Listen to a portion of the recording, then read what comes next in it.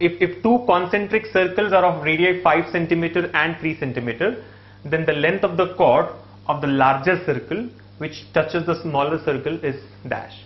And the options are 6 centimeters, 7 centimeters, 10 centimeter and the last option here is 8 centimeters. So interesting one here, right? We have got two concentric circles. Now what do you mean by two concentric circles? Their centers are same. For two circles, the centers are same. And the radii are 5 centimeter and 3 centimeter. So let's understand the figure first. This is a larger circle. It has got a center here. And there's another circle. Right? A smaller one within the larger circle. Are you able to follow? Well, it doesn't look like proper circles there, but I'm sure you're able to follow the diagram, right? So two concentric circles. Understand concentric circle means circles with common center, right? They've got the common center. The radii are 3 centimeter and 5 centimeter. So obviously for the inner circle, the radius is 3 and for the outer one, the radius is 5. Now the length of the chord of the larger circle which touches the smaller circle. Now an interesting point about such a case is that the chords of larger circle will become the tangents of the smaller circle. You can draw any number of chords. I mean, you can draw many chords for the larger circle and all those will become the tangents for the smaller ones. For example, let's say if I draw a uh, chord like this in the larger circle. AB is the chord, let's say. AB is the chord of the larger circle, but if you observe it touches the smaller circle only at one point. Let's say this point is P. It becomes a tangent for the smaller one, right? And he's asking us to find out the length of the chord. So what will be the length of this chord? Are you able to follow? Now let's understand, see this radius here is uh, 3 centimeters, smaller one this is 3 centimeter and for the larger one it is 5. So let's let's connect with A here. Let's say this is the center. So the larger one here is 5 centimeters. Done. Right angle triangle. You observe that this is the center of the circle, right? O. APO makes a right angle triangle. In a right angle triangle, Pythagoras theorem is applicable, right? I know that this angle is 90 degrees. Don't ask me how.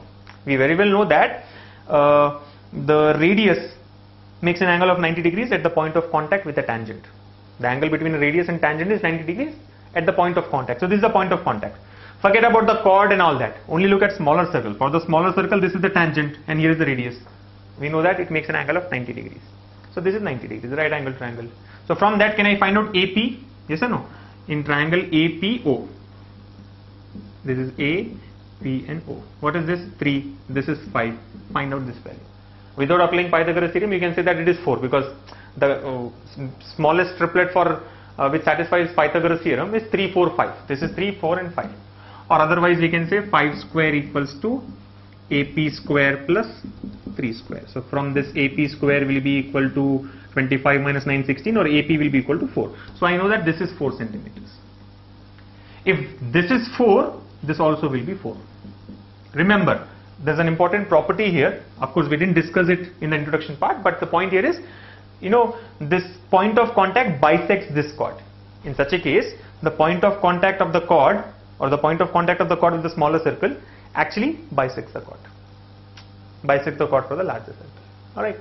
Or otherwise, go by the concept that we have learnt. I mean, we have not taken it this way, but we know that, you know, from the center, when you drop a perpendicular, Forget about the smaller circle now. Forget about smaller circle. Only look at the larger circle. So there is a larger circle and there is a chord. We know that from the center when I drop a perpendicular on the chord, it bisects. Bisects means what if this is 4, this also will be 4. It divides into two equal halves.